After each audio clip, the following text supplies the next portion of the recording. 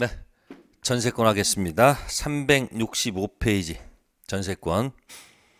자, 303조의 전세권 자가 되, 시작합니다. 전세금 지급, 타인 부동산 점유, 용도조차 사용 수익, 그 부동산 전부에 대하여 후순위 권리자 기타 채권자보다 전세금 우선 면제 받을 권리가 있다.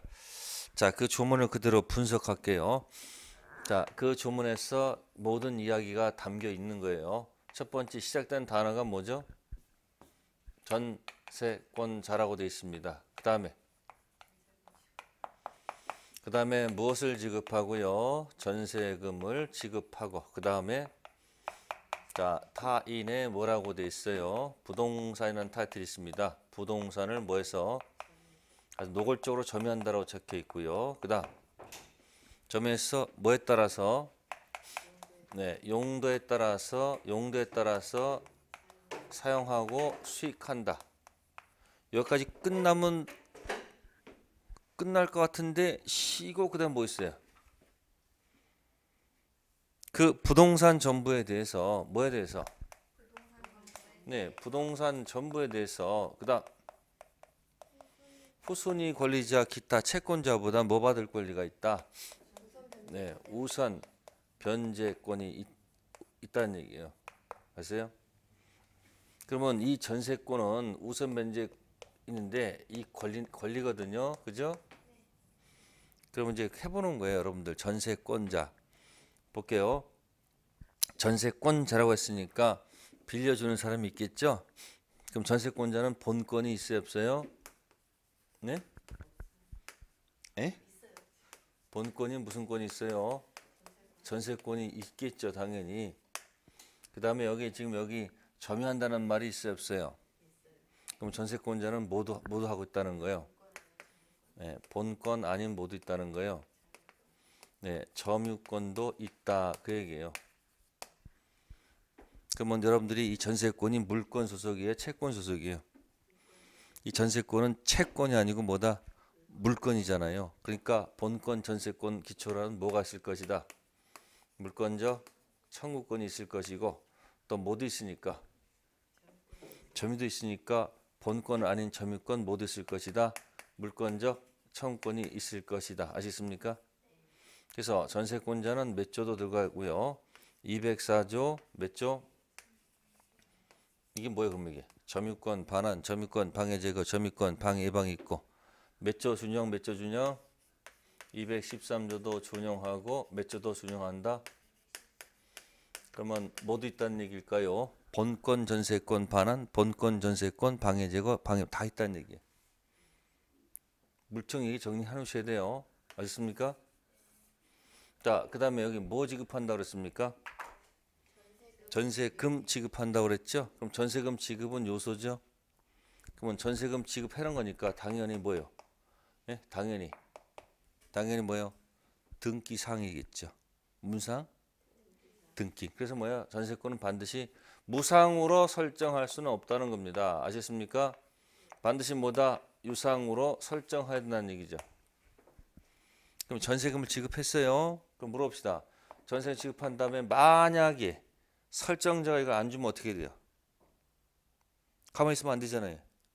그러니까 전세금 지급이 요소니까 전세금 지급한 다음에 기간이 뭐가 된 다음에 만료가 된 다음에 그죠? 만료가 되면 네? 주인하고 빌려 쓰는 사람은 값은 뭘 줘야 되고요? 뭐 반환해야 돼요? 전세금을 반환해야 되고요. 이 빌려 쓰는 사람은 비워줘야 돼. 예? 목적물을 뭐 해야 되고 반환하면서 하나 더 들어가 하나 뭐 전세권은 등기상이기 때문에 뭐 할 수 있도록 말소 등기 서류를 줘야 돼요. 아십니까? 그러면 갑은 이게 변제기고 을도 이게 뭐예요? 변제기죠. 이럴 때 우리가 뭐라 그러죠? 동시이행이라고 그래요. 무슨 이행이요? 무슨 이행? 동시이행. 아셨습니까? 그러면 전세금 반환을 만약에 하지 않았어 경매를 집어넣으려면 이 두 가지를 던져야 돼. 뭔다고요? 이걸 뭐해서 이걸 변제 능력을 제공하고 그죠? 얘가 전세금 반환을 만약에 하지 않으면 그때 이제 뭐가 되는 거죠? 이 값이 뭐에 빠져요? 뭐에 빠지죠? 이행 지체에 빠지죠. 그럼 지체에 빠지면 드디어 뭐 할 수 있다? 네? 전세권자는 뭐 집어넣을 수 있다? 을은 뭐 집어넣을 수 있다? 경매할 권리가 들어갑니다. 뭐 할 권리? 그래서 전세금 반환 받기 위해서 자 기간이 만료가 되고 이행시에 빠뜨린 다음에 뭐 한 다음에 경매한 다음에 경락대금 들어가서 무슨 변제? 우선 변제 받을 권리가 있어야 되겠죠. 그래서 저쪽에 무슨 변제가 있다? 여기 우선 변제가 있는 거야. 그러면 여기서 전부돼서 우선 변제권 행사할 수 있다는 거예요. 이거 뭐가 요소가 되기 때문에 뭐가 요소가 되기 때문에요. 전세금 지급이 요소가 되기 때문에 전세금 지급이 요소가 되기 때문에 이 전세금 반환을 확보해 주기 위해서 그죠? 무슨 걸 인정한다? 우선 변제권. 따라서 전세금 지급이 요소가 되기 때문에 나중에 경매권도 주고 뭐도 준다? 우선 변제권도 주거든요. 네, 강력한 거죠. 다음 타인의 부동산 있으니까 타인의 부동산이니까 뭐 있을까요, 여러분들? 예? 아, 건물도 전세권 설정할 수 있고요. 뭐도 또 뭐도 설정할 수 있을까요? 토지도 전세권 설정할 수 있다 없다? 있죠. 그래서 무슨 전세권 무슨 전세권 토지 건물 전세권 다 됩니다. 다음 타인의 부동산은 꼭 전부에 됩니까? 일부도 관계없습니까? 네? 이 부동산 꼭 전부일 필요 없잖아요. 전부도 좋고 모두 좋다. 일부도 좋다는 얘기예요. 자, 그다음에 용도에 따라서 뭐 해야 돼요? 사용수익 해야 되겠죠? 그래서 만약에 용도에 따라서 사용수익 위반하게 되면 이건 아웃됩니다. 그래서 누구께서 전세권 설정자께서 그죠? 열받으면 뭐 합니까? 나가시오. 네? 설정자가 뭐 있냐면 소멸 청구를 있다는 겁니다. 뭐 있다는 거? 그래서 청구가 도달되면 도달되면 즉시 끝나는 겁니다. 즉시 뭐 한다? 소멸하겠죠? 용도 위반. 자, 그다음에 이제 부동산 전부에 대해서 무슨 변제권? 우선 변제권 있다. 그다음에 이 권리는 채권이 아니고 뭐다? 이 권리는 뭐가 아니고 채권이 아니고 물건이죠. 자, 물건은 뭐죠? 사람, 물건, 직접 지배. 그죠? 그럼 어떤 사람 빌려 쓰는 사람이 누구예요? 을께서. 자, 사람 물건이 나와야 되겠죠? 누구의 물건을 주인의 물건, 주인의 부동산을 뭐 하는 거죠? 직접 지배해서 뭐 한다? 사용 수익하는 권리죠. 그럼 이제부터 질문 들어갑니다. 자, 수선 유지는 누가 해야 됩니까? 수선 유지는 갑이 해야 됩니까? 을이 해야 됩니까? 주인이 해야 돼요? 을이 해야 돼요? 을이 되겠죠. 그러니까 수선 유지는 누가 아니고 전세권 설정자가 아니고 전세권자가 당연히 부담할 것이다. 수선 유지에 들어가는 비용을 우리는 필요비라고 합니다. 무슨 비용? 그래서 필요비를 누가 지출하고 을이 지출하고 이것을 상환을 요구한다는 것은 사는 요구한다는 것은 논리 모순이 되겠죠? 수선 유지를 누가 하고요? 을이 하고 그 수선 유지를 갖다 지출한 것을 달라는 얘기는 말이 안 맞잖아요. 그 전세권자는 무슨 비가 안, 없다. 필요비 상한은 인정해서는 안 되죠. 다음 전세권을 양도하고 싶어요. 뭐 하고 싶다고요? 양도할 때 갑의 동의 받을 필요가 있을까 없을까? 갑의 동의 불 요죠? 왜요? 직접 지배하는 거니까. 이건 당연한 얘기 아시습니까? 또 아까 제가 물건이었으니까 아까 물청이 있어야 돼 없어야 돼요? 그래서 뭐야? 본권, 기초라는 뭐가 있다? 물청이 있었죠? 그래서 아까 몇조몇조다 준용했습니까? 213도 더 준용하고 몇 조도 다 준용합니다. 전세권 반환, 전세권 방해 다 있다는 얘기예요. 네, 그 조문 가지고 일단 설명드린 거예요. 네, 그리고 몇 가지 체킹합시다. 자, 365페이지 갑니다. 전세권. 자, 그럼 밑에 보시면은 법적 성질에 보시면은 법적 성질에 보시면은 2번에 용익 물권이란 말이 있어요. 그죠? 물권의 니은 체킹 전세권자가 목적 부동산 점유 용도에 따라 사용 수익하는 권리이므로 전세권에도 상린 관계에 관한 규정이 준용할 것이고 또 전세권의 침해세는 물권적 청구권, 본권 전세권, 물청이 있을 것이다. 다음에 담보 물권 성질도 있습니다. 그래서 3번 왼쪽에다가 이중 스파이 쓰세요. 전세권은 이중 스파이, 용익 물건이면서 담보 물건 성격도 갖고 있습니다. 양다리 걸치고 있습니다. 경매권도 있고 무슨권이 있기 때문에 우선 변제권. 자, 저당권자는 여러분들 돈 못 받으면 뭐 해요? 저당권 실행 경매에서 뭐 받아요? 우선 변제 받잖아요. 그러니까 전세권자도 담보 물건 성격도 있다는 거 체킹하시고요. 그래서 366페이지 보시면 니은 전세금 반환 채권이 주 전세권이 종 그래서 부정성, 수반성, 불가분성 또 어디까지 물상, 대시성 담보 물건의 성질이 그대로 와 있다는 거 기억하시고요. 다음 361페이지 전세권 취득과 존속 기간에서 특징 자, 니은에 B, A, B, C가 있을 때 B 체킹하세요. 작년도 시험 나왔던 겁니다. 전세금 지급의 B 다만 전세금 지급이 반드시 현실적으로 수행하는 것은 아니고 기존 채권으로 전세금 지급에 가름할 수도 있다. 어디 보세요 지금 367페이지 몇 페이지요? 맨 밑에 니은의 A, B, C 중에서 B 자 여기 보세요 전세금 지급 있죠? 그럼 꼭 돈을 현실적으로 줄 필요는 없다는 얘기예요 갑이 을한테 부동산을 10억에 팔았어요. 얼마 팔았다고요? 그 매매 대금이 10억 원이에요. 10억. 이 중에 7억 원 받고 매매 대금 매매 대금 3억을 갖다가 뭐로 해서 전세금으로 해가지고 이 갑이 예? 전세권 설정할 수도 있다 없다 있다. 그러니까 뭐요? 기존 채권으로 전세금 지급에 대신할 수도 있다는 얘기. 그게 작년도에 나왔다는 거 체킹하시고요. 다음 368페이지 갑니다. 전세권 존속 기간입니다. 자, 전세권 존속 기간은 음, 존속 기간은 약정한 경우도 있고요. 약정하지 않은 경우도 있습니다. 그래서 전세권 약정했을 때는 최장기도 있고 최단기도 있습니다. 최장기는 네, 10년을 초과하지 못한다 이렇게 돼 있고 최단기는 이게 특징이 토지는 안 되고 건물 전세권만 돼요. 건물.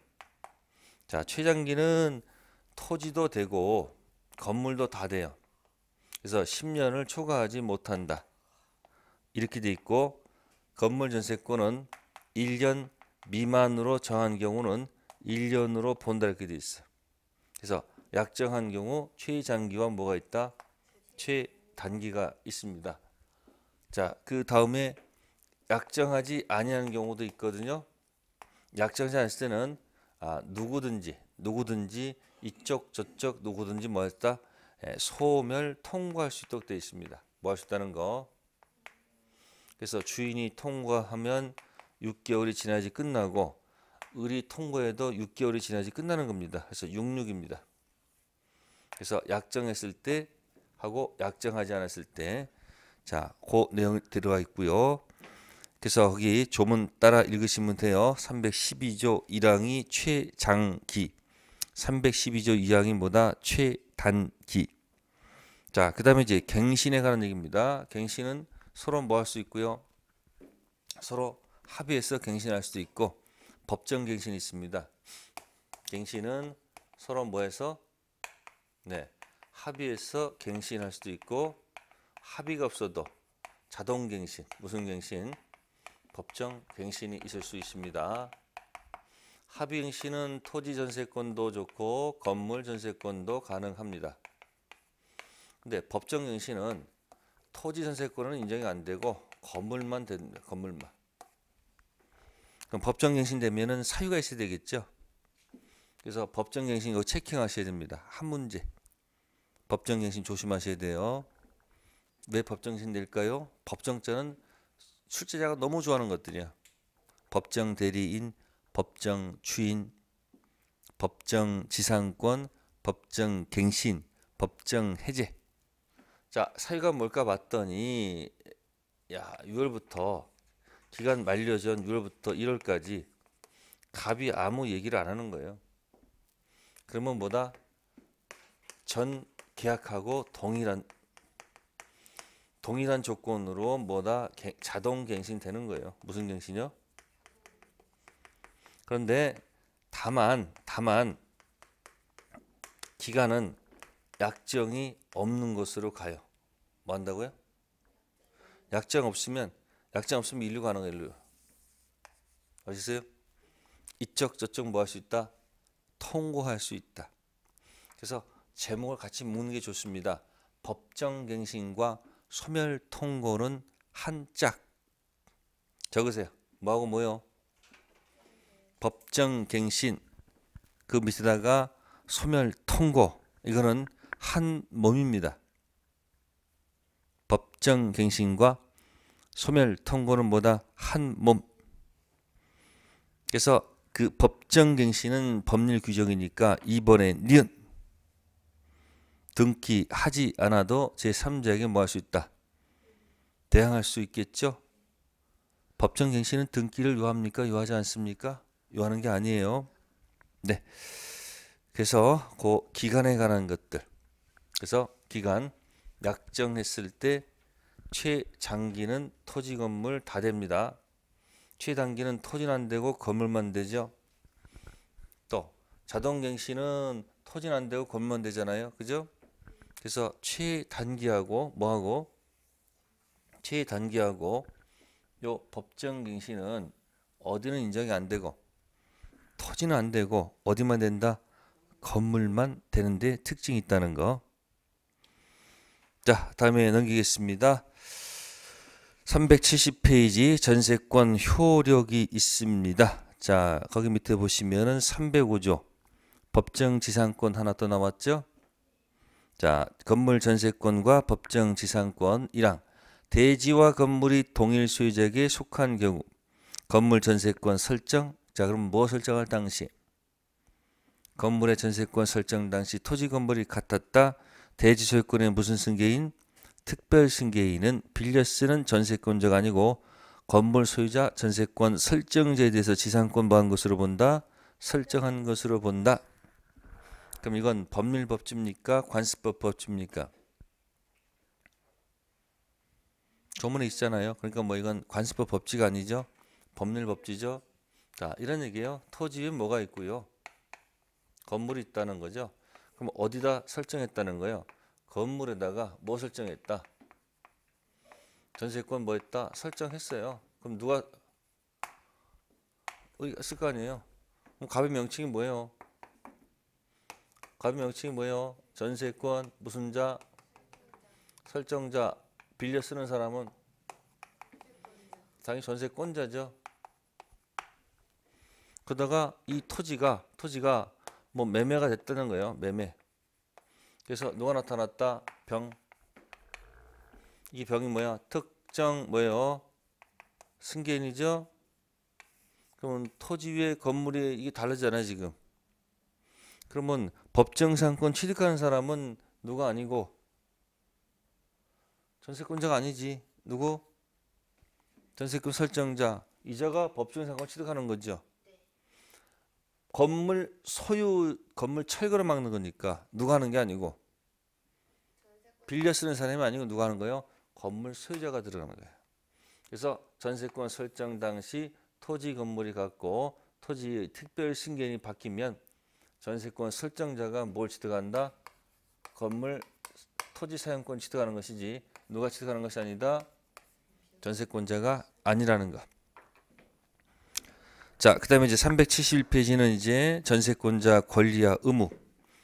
자, 보세요. 309조 전세권자는 여기 아까 있었죠? 전세 어디 갔더라? 여기. 수선 유지는 누가 한다? 전세권자가 부담합니다. 따라서 310조에는 필요비가 없어요. 유입비 상한 청구권은 있지만 무슨 비는 없다? 필요비는 없습니다. 당연한 겁니다. 아시겠습니까? 자, 311조 전세권 무슨 청구? 소멸 청구. 자, 보세요. 거기 전세권자가 설정 계약 또는 목적물 성질이 있어 정해진 용법으로 사용 수익하지 아니한 경우 소멸을 뭐 할 수 있다? 청구할 수 있다. 자, 그럼 아까 뭐하고 좀 차이가 있을까 볼까요? 자, 아까 용도 위반했을 때는 여기 소멸 청구란 말 있었죠? 네? 도달시 끝났었죠? 네? 그러면 약정이 없으면 여기 무슨 통고가 있어요? 소멸. 통고란 말 있죠? 통고는 일정 기간이 지나야지 끝나는 거죠. 그래서 무슨 말하고 조심하셔야 돼요? 소멸 청구하고 소멸 통고는 같은 거에 다른 거예요? 다릅니다. 소멸 청구와 소멸 통고. 그래서 차이점 조심하시고요. 다음 312조 이 전세금 증감 청구권이 있습니다. 전세금 지급 요소니까 경제 사정 변동에 따라서 전세금을 뭐 해달라? 예, 증액해달라. 또 뭐 해달라? 감액해달라. 요구할 권리가 있어야 되겠죠. 이 증감 청구권은 청구권이 아니고 일방적으로 하는 무슨 권? 형성권 성질 갖는다는 거. 청구권 아니고 뭐다? 형성권. 자, 319조 준용 규정 나왔네요. 자, 213조 14조 준용하는 것은 물권이기 때문에 전세권 반환, 전세권 방해 제거 이방 다 있다는 얘기고 216조 내지 244조 규정은 점유하고 있기 때문에 상린 관계에 관한 내용이 그대로 준용한다는 그런 뜻. 네, 그래서 그 내용을 밑에다가 쭉 설명하고 있는 겁니다. 자, 동그라미 2번 제목만 체킹. 전세권자가 수선 유지 의무가 있다는 것. 다음 넘기시고 372페이지 3번 점유권과 본권에 기인한 물권적 청구권 아까 했던 겁니다. 요거 요거 요거 요거 요거 요거 요거 했던 거 요거 요거 얘기하고 있는 거예요. 물청 얘기 끝났습니다. 자, 그 다음에 이제 여러분들은 우측 가시면은 전세권 뭐 양도도 할 수 있고 전세권 담보 제공도 할 수 있습니다. 그 담보 제공은 나중에 심화해서 설명드릴 거예요. 자, 그 다음에 이제 전전세 가보겠습니다. 무슨 전세요? 373페이지에 전전세. 자, 사람 이름만 조심하면 돼요. 전전세. 자, 어디다 해볼까요? 어, 여기다 해볼까요? 전전세.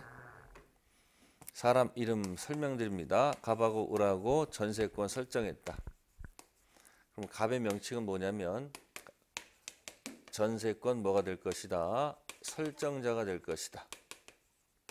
을의 명칭은 당연히 전세권자가 될 것이다. 그러면 을이 다시 병한테 뭐 했다는 거예요? 전 전세했습니다. 을의 명칭이 뭘까요? 전 잠시 쉬, 잠시 쉬고 전세권 설정자 한 번에 읽으시면 돼요. 병의 명칭은 전 해놓고 뭐다? 전 전세권자.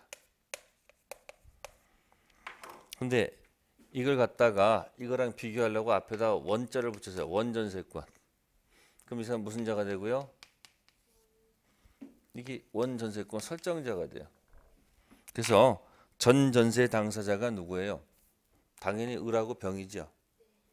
이걸 읽기 편해. 뭐라고? 짧은 걸로. 무슨 자?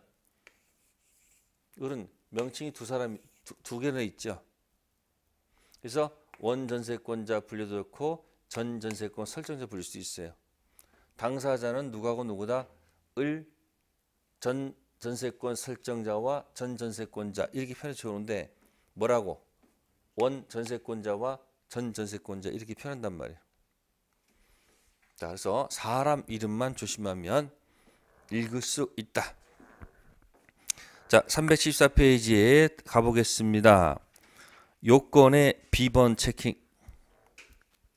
비, 전 전세 당사자는 원 전세권자 또는 전 전세권 설정자 을과 전 전세권자 병 체킹하셨습니까?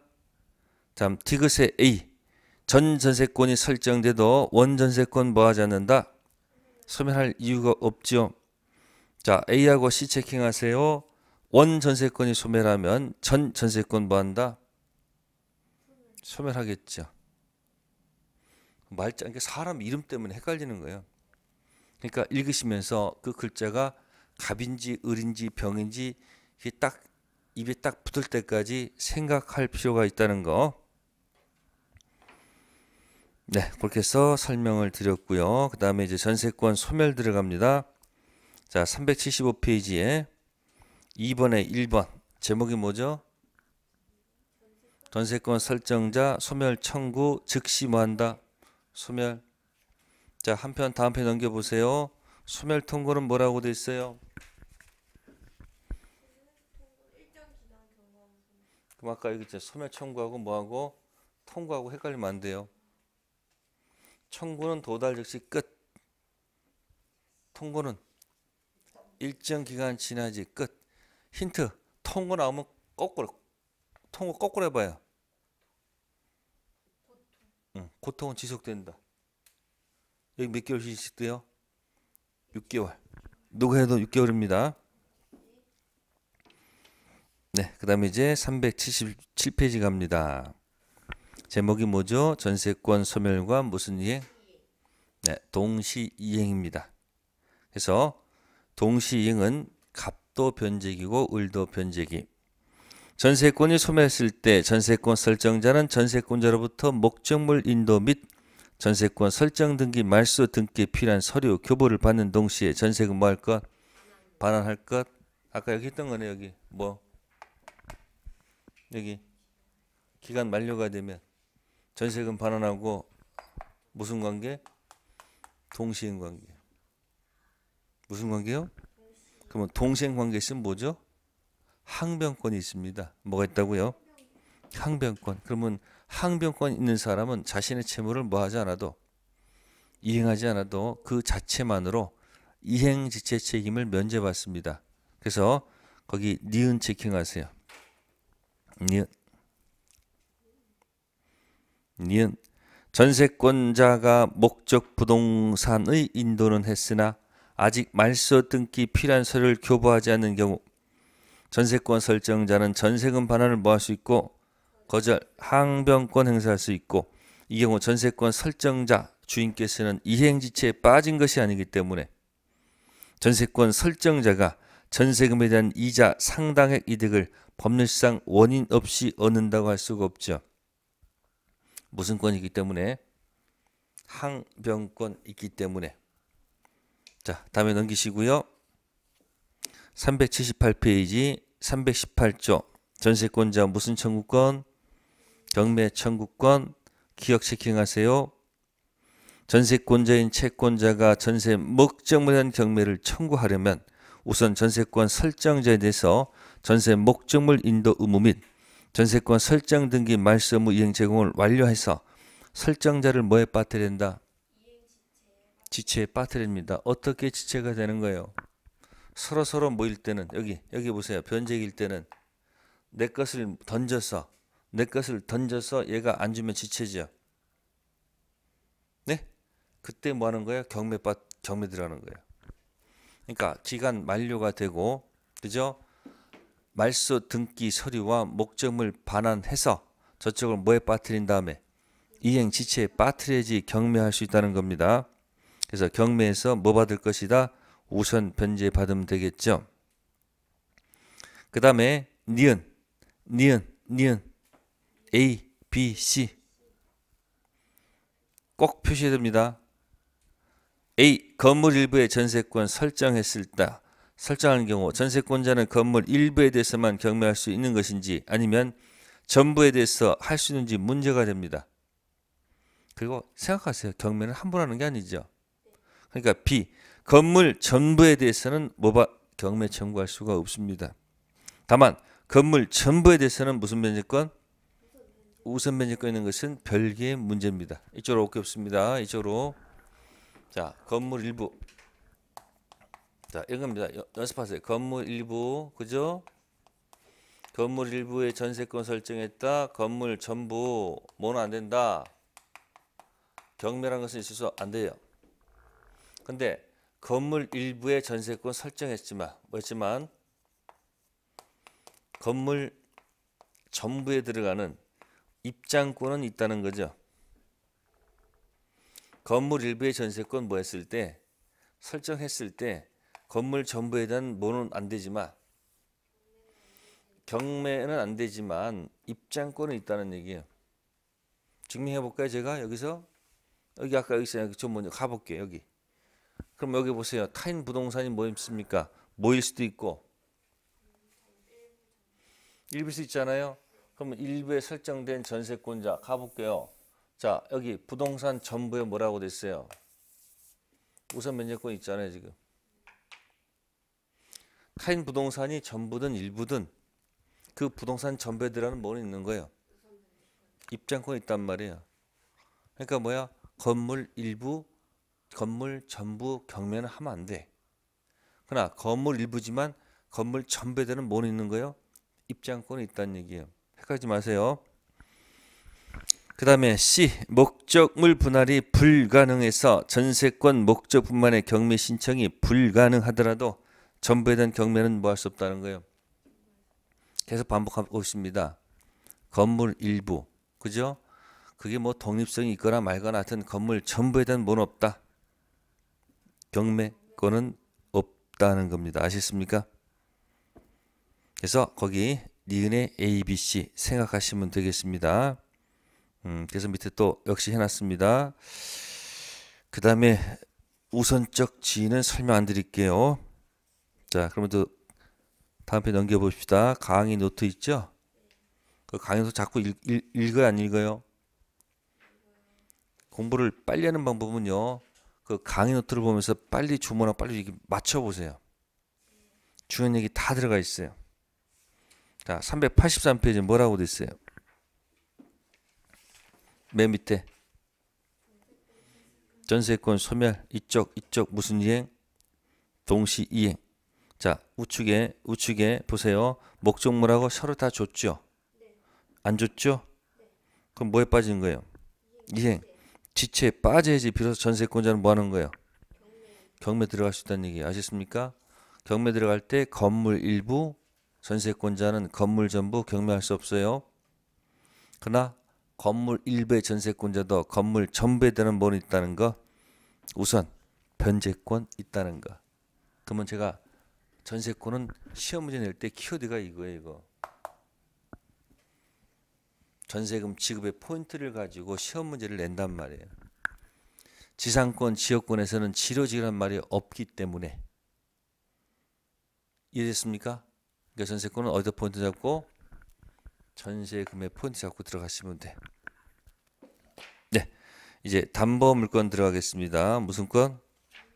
담보 물건. 담보 물건은 종류가 세 가지입니다. 몇 가지요? 세 가지인데, 그럼 아까도 제가 여기 이 전세권자가 담보 물건 성격도 갖고 있다고 슬쩍 얘기한 적 있을 거예요, 그죠? 모두 있고 모두 있으니까 경매권도 있고 모두 있으니까. 우선 변제권도 있기 때문에 자 유치권은 세 가지 이렇게 들어가면 돼요. 음, 채권이 있어서 카센터 가볼게요. 무슨 센터요? 카센터 가서 자동차 수리비 채권이 있어서 카센터 주인이 유치권 행사한다. 전당포, 전당포 주인 채권이 있어서 동산 담보 잡고 있거든요. 그 동산 담보를 질권이라고 그래. 뭐란다?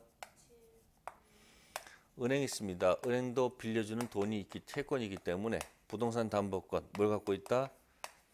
저당권 갖고 있다는 얘기예요. 그러면 유치권, 질권, 저당권 붙어있는 이 채권을 법률 용어로 피담보 채권이라고 하는 거예요. 무슨 채권이요? 그럼 유질제를 묶어서 뭐라고 그래요? 담보 물건이라고 하는 거예요. 그러면 담보 물건은 3편 채권이 있어야지 2편 물건에 담보 물건이 붙는 거예요. 다시 3편 채권이 있어야지 2편 물건에 담보 물건이 붙는 거예요. 그러니까 이 피담보 채권이 뭐가 되고요. 주가 되고 이건 종관계 들어간다는 거예요. 무슨 관계요? 그럼 주종관계 뭐가 있어요, 여러분들? 기본적으로 기본적으로 주가 뭐 하면 소멸하면 종도 같이 소멸한다는 이 성격이 일단 있어야 될 거 아니에요. 다음 주가 어디로 이전하게 되면 예? 종도 뭐야? 같이 붙어서 가야 되는 거 당연하게 다- 당연할 것이라는 얘기죠. 그 다음에 잔액이 남아 있어요. 이게 만약에 잔액이 남아 있으면 어떻게 돼요?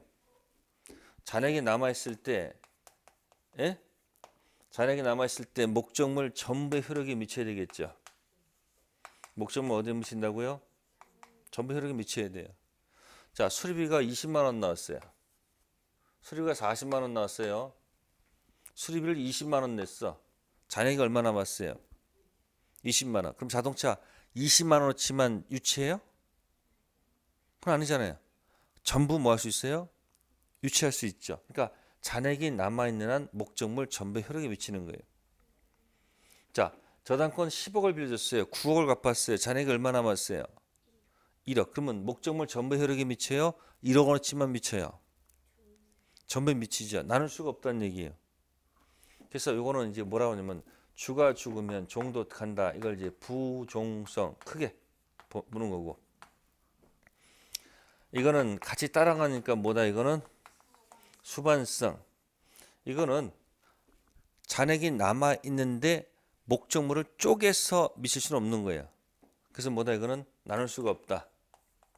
불가분성이라는 거예요. 무슨 성? 불가분성.